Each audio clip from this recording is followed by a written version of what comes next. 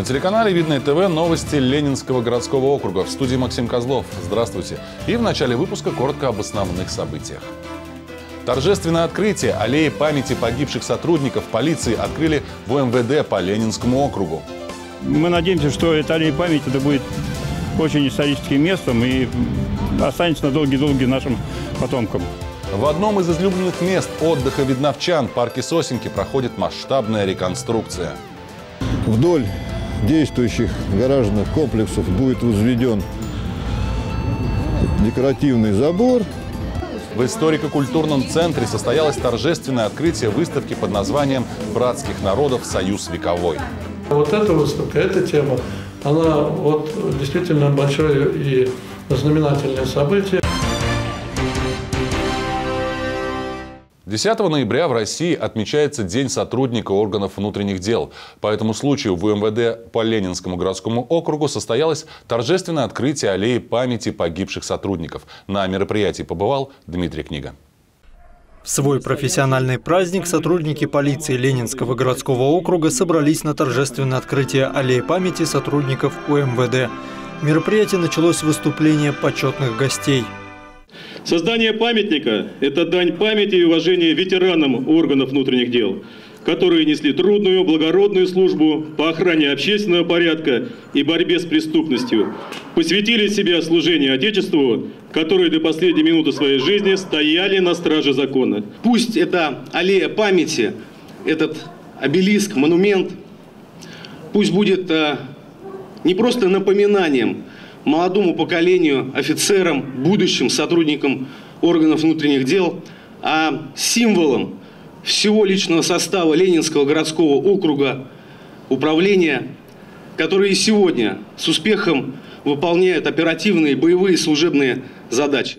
Инициаторами создания монумента стали члены Совета ветеранов УМВД. Судьбы людей, которым посвящен памятник, стали частью истории нашего муниципалитета. Мы надеемся, что эта аллея памяти это будет очень историческим местом и останется на долгие-долгие нашим потомкам. На памятнике изображены портреты сотрудников, погибших при исполнении служебного долга Эдуарда Кадырова и Николая Поручикова. Также на стелу нанесены имена 21 участника Великой Отечественной войны. После минуты молчания гости мероприятия возложили цветы к монументу.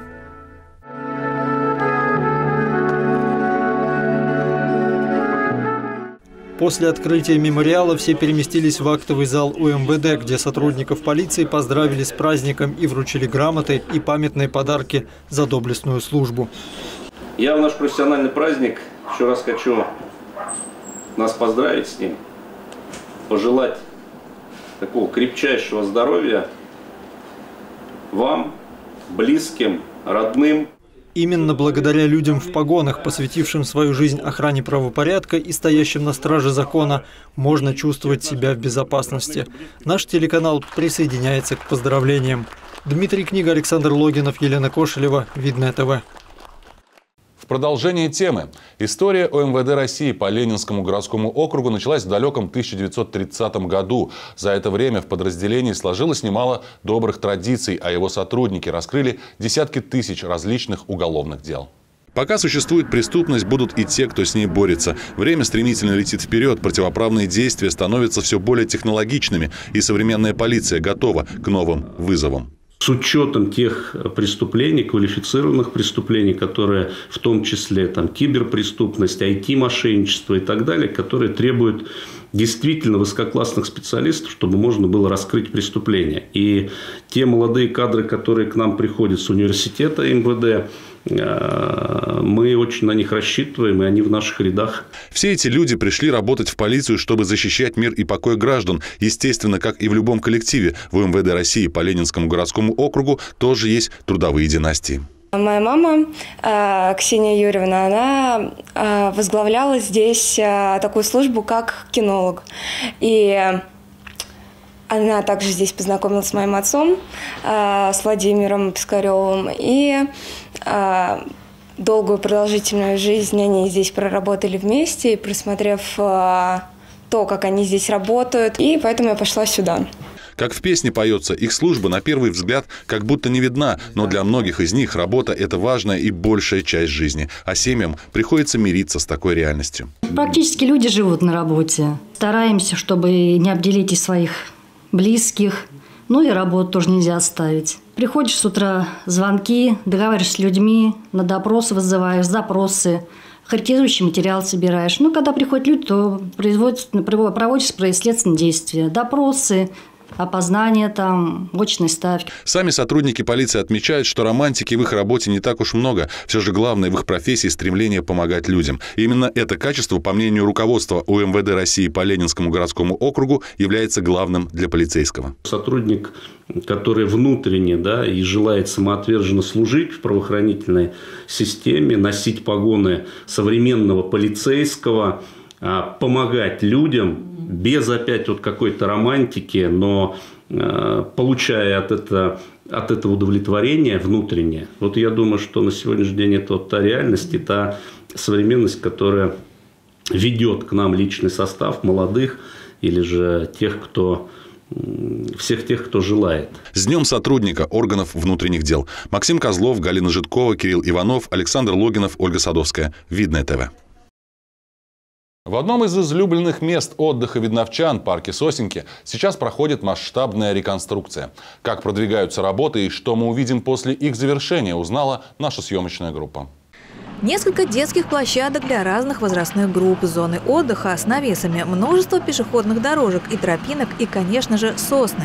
Те самые, которые не первое десятилетие украшают эту территорию у Жуковского проезда. Именно так в скором времени будет выглядеть парк Сосенки, в котором с сентября проходит масштабная реконструкция. Произошло расширение данной территории за счет сноса гаражей. Вдоль действующих гаражных комплексов будет возведен декоративный забор с 3D-печатью. Будет сцена, и около сцены запланировано как раз место, где мы посадим елочку. И она будет э, каждую новогоднюю ночь украшаться. И будут плясать дети около новогодней елочки. Кстати, в ходе благоустройства 99% деревьев парку удалось сохранить. Но после завершения всех работ сосенки станут еще зеленее. Также планируется озеленение если там дальше высаживаются кусты в живую изгородь, по этой стороне у нас декоративный можжевельник, виноград, ну и так далее. Работы проводятся по губернаторской программе, финансируются средствами из областного и местного бюджетов. За ходом работ внимательно следят жители близлежащих домов и местные депутаты.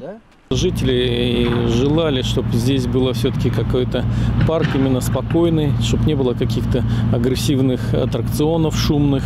И поэтому несколько раз пересматривалось. Э, проект э, неоднократно переделывался. И в настоящее время уже реализуется такой, как э, в принципе задумывался жителями. Принимают активное участие в реализации данного проекта. И если где-то они что-то видят, как строители где-то, может быть, какой-то допустили э, момент, да, ну, может быть, некачественной работы, сразу же э, звонят, мы общаемся. Э, бригадир всегда откликается на те или иные э, вопросы. Я думаю, что замечательно. Его намного расширили и намного благоустроили. Ну, благоустроят в дальнейшем. Когда закончат, придете? Конечно. Чего ждете вообще? Что хотите, чтобы было в этом парке, как на ваш взгляд, должно Что-то современное, наверное. Ну, да. Учит, учитывая то, что там на входе а, есть плакат, где написано план. А, план, да. Я думаю, что это будет хорошее. Завершить благоустройство подрядчик обещает к концу ноября этого года. Екатерина Борисова, Татьяна Брылова, Сергей Ларин, Елена Кошлева. Видно этого. Ленинский городской округ посетил архиепископ Подольский и Люберецкий Аксий. Священнослужитель приехал в город, чтобы принять участие в записи очередного выпуска программы «Дорога к храму», которая уже несколько лет выходит на телеканале «Видное ТВ». Подробнее о визите архиепископа расскажет Юлия Погосян. Журналисты замечательные сидят которые трудятся. Трудятся, пишут, да. Чай пьют. Но как без чая. У, у них процесс, процесс творческий, он многогранный такой, интересный. Чтобы познакомиться с интересным процессом работы местного телевидения, студию «Видное ТВ» посетил почетный гость архиепископ Подольский и Люберецкий Аксий. Он благословил журналистов и одобрил то благое дело, которое вот уже много лет реализуется сотрудниками телеканала. Для нас это очень важно и ценно, потому что ну, мы тоже придерживаемся традиционных для нашего народа ценностей и будем рады его видеть вновь и вновь, и тем более, что очередной выпуск программы, которая вот сегодня участвует, это великолепно, я считаю. Мы очень благодарны. Недавно формат передачи «Дорога к храму» изменился. Теперь ее авторы и ведущие сами священнослужители Видновского благочиния. Они приглашают гостей, обсуждают вопросы православной веры в условиях современного мира. Это необходимо делать, потому что, э, ну, во-первых, должен звучать голос церкви, голос верующих людей. А, и на самом деле очень многие люди имеют ну, искаженное представление о церкви и о верующих. А, боятся зайти в храм, да, боятся поговорить со священником. А священники – это не инопланетяне, это такие обычные наши современные люди.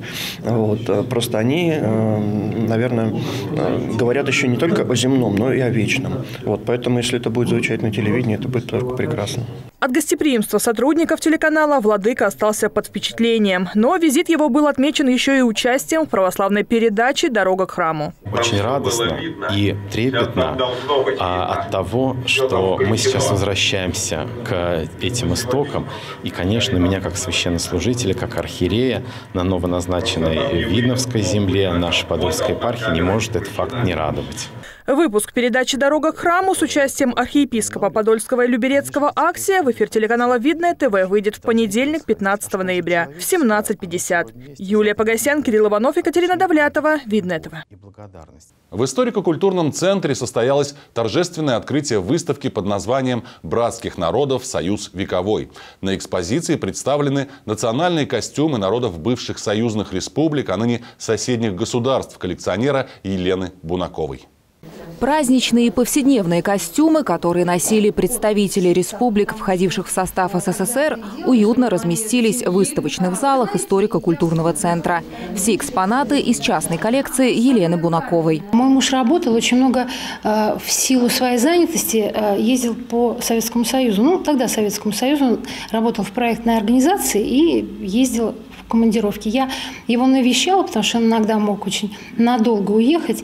И я вот, ну, там могла привезти себе оттуда костюм. Это совсем не использовалось в качестве какого-то экспоната, а это скорее для домашней такой затейливости было. Знаете, мы могли там на день рождения нарядиться. Потом я просто поставила себе цель и начала э, путешествовать и добирать э, то, чего у меня не было. Это могла быть просто какая-то конкретная деталь, случайно мне встретившаяся там на какой-то выставке, или блошиные рынки, или антикварные магазины. Э, но потом в результате складывался образ. Елена Бунакова признается, что в город Видное привезла лишь часть своего собрания. Всего в ее коллекции более 300 национальных костюмов. Все, что делают э, наши э, сотрудники центра, э, вот это знаете, особое отношение к истории и культуре. Вот так как бережно они собирают то, что могут, готовят годами, готовят выставку для того, чтобы ее открыть, для того, чтобы людей наполнить прошлым, для того, чтобы его сохранить. Вот эта выставка, эта тема, она вот действительно большое и знаменательное событие. Мы вот, например, все выросли в Советском Союзе, я так думаю, почти все. Вот. И э, не понаслышке знаем вот эти все республики. После торжественного открытия выставки коллекционер провела небольшую экскурсию, на которой рассказала гостям интересные истории о большинстве из представленных экспонатов. Все костюмы, они невероятны по своей красоте, по своей значимости для своего народа и по своей, конечно, э, такой характерной особенности. Они все так хороши, что я могу просто 16 выставок провести, поставив один костюм и рассказывать про него. Помимо национальных костюмов, посетители выставки «Братских народов Союз вековой» смогут увидеть предметы быта, куклы, книги и открытки. Такое собрание э, национальных костюмов я не видела давно. И мы все-таки дети СССР. И очень было интересно все посмотреть, и э, ощутить, и потрогать. И, конечно, впечатление у меня очень, очень большое. Я сейчас очень рада, что вот открыли такую выставку. Я сама педагог.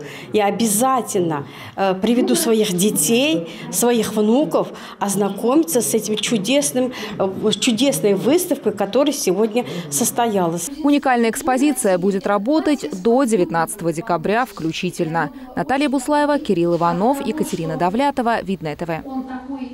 И это все новости на сегодня. В студии для вас работал Максим Козлов. До встречи.